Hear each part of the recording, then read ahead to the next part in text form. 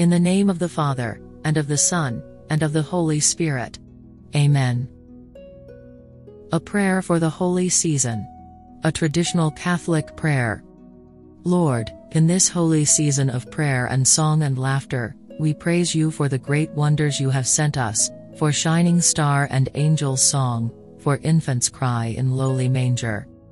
We praise you for the Word made flesh in a little child. We behold his glory, and are bathed in its radiance. Be with us as we sing the ironies of Christmas, the incomprehensible comprehended, the poetry made fact, the helpless babe who cracks the world asunder. We kneel before you, shepherds, innkeepers, wise men. Help us to rise bigger than we are. Amen.